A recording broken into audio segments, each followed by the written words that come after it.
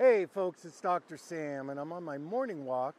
I received a question today, how will the 5G network with using our cell phones impact our eyes and our body?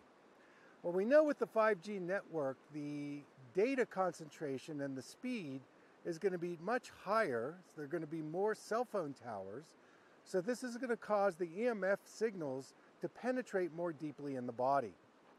Now, what I've observed with people that use cell phones is that they have to be careful about the blue light pollution.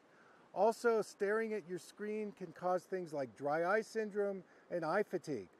So, my suggestion would be to make sure you're supplementing with lutein, zeaxanthin, and astaxanthin, and to make sure you take nature walks like I'm doing right now. So, that's my message for today. Thank you so much for tuning in. Take care.